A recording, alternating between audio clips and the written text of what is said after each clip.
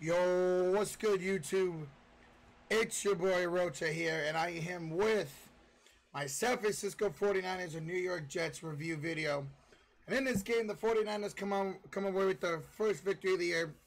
They won it 31-13 without some consequences. We'll talk about that here in a second. But overall, as a team, the San Francisco 49ers look great. I was so happy about their performance, man. They went into New York and did what they needed to do, and that's get a dominating victory and performance. The run game was amazing. Both quarterbacks in this game were really were pretty solid. Jimmy G is better than Mullens, but love what I saw. Defense took some hits, but the defense like really really solid. So Jimmy G before he went out of the second half, 14 to 16, 131 yards, two touchdowns, no interceptions. Mullens, who came in in the second half, uh, 8 of 11, 71 for a pick. I really love Jimmy G's performance. In this game, he suffered a high ankle sprain. News came out this morning that it is not as bad as expected. He could start Saturday. I doubt they do that, but he most likely will be back for the Eagles game uh, a week from uh, Sunday. I said Saturday. I meant to say Sunday. Nick Mullens, I'm more than comfortable with him coming in to the same stadium next week and getting the win against the Giants. He was all right. Uh, he had some really great throws. He had one bad throw, went through the hands of McKinnon for an interception. But um, I'm more than confident for him to do anything. Raheem Mostert, first play of the game, an 80 yard touchdown one. He had an 8 for 92 and a touchdown.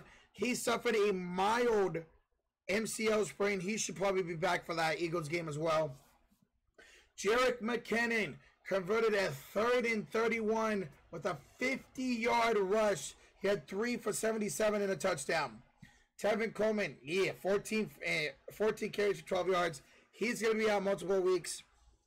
Um, yeah, so that's the running 182 yards in total on the ground. Uh, offensive line gave up three sacks. They need to work on that a little bit, but otherwise not too bad. Receiving wise, Kendrick Bourne had some clutch catches. He uh, dropped a long pass from Mullens, but then uh, made up for it on the next play. he had four for 67. Jordan Reed, seven receptions, 50 yards, two touchdowns. He was amazing in this game. I believe George Kittle most likely will not play again Sunday. They shouldn't with this turf. He's a perfect fill-in for uh, George Kittle. Jordan Reed, solid, really great, man. Brandon Aiyuk, his debut, two receptions, 21 yards. Nothing special. He made a couple good plays. Uh, nothing really else in the air too much. Mohamed Sanu, not a single catch. I don't even know if he got a single target. As for the uh, Jets, Sam Darnold, 21 to 32, 179. They had a late garbage time touchdown. Ahkello Witherspoon, talk about when it comes to the defense, gave that up. Uh, 49ers only had one sack. But on the ground, Frank Gore, 21 carries, 63 yards. It's only a three average, so that's pretty good. Uh, let's talk about the 49ers defense. Uh, Chris Hogan, 6 for 75 and uh, no touchdowns. Braxton Berrios, 6 for 59 and 49 and a touchdown. So we talked about the offense. The 49ers defense lost Nick Bosa, lost Solomon Thomas, unfortunately, for the year. They still play well. 49ers are not going to get the sacks they did last year, but they still generate a lot of pressure on the quarterback. They're probably going to lead the league in quarterback pressures, but not sacks. Losing Nick Bosa hurts a lot. That's going to really affect the 49ers defensive line. But losing Solomon Thomas does suck.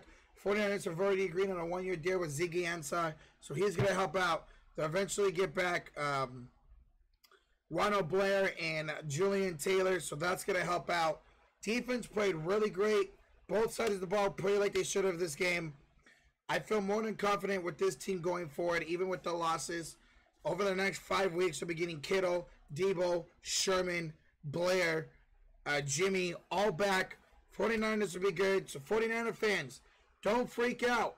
We're getting our leader back probably next week. We're going to get our top tight end and our top running back probably the next week as well. So 49er fans, let's relax. This team's going to be great.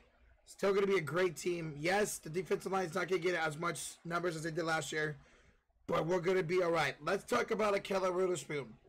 He was up and down all uh, game long. Um, hopefully, you know, he picks it up. It was his first start, so I, I can understand that. Let's talk about Arik Armstead. He's the only one that got a sack in the game. He was amazing, generated a lot of pressures, got to the quarterback once, deflected a pass. Let's talk about Hyder once again. He didn't record a sack, but damn, this dude was in that backfield, along with Javon Kinlaw, A couple good run stops, DJ Jones as well. Fred Warner led the team in tackles. He is an elite linebacker. Uh, Dre Greenlaw got hurt during the game, but he looked, uh, there's nothing new with him, so he's good to go. Linebacking corps played really well. Defensive line did what they needed to do. Secondary had great plays, had bad plays. K'Waun Williams had a great day. Jimmy Ward had a great day. So overall, great performance by the 49ers. Great job, marching in New York, taking care of the business for the first team.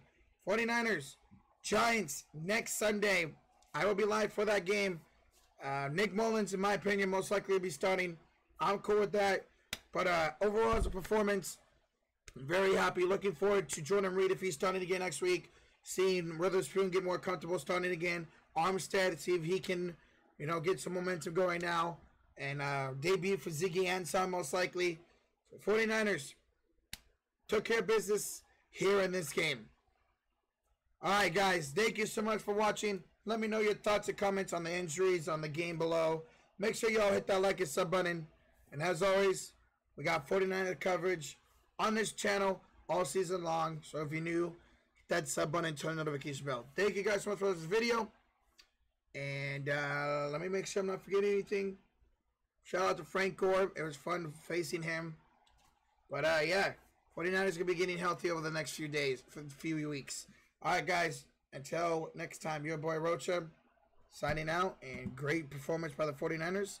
Now it's time to handle business once again against the New York Giants this Sunday. All right, peace out, guys.